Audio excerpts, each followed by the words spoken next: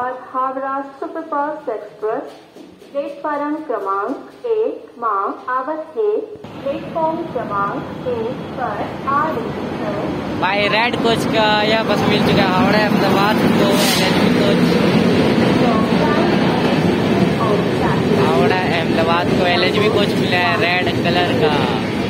New coach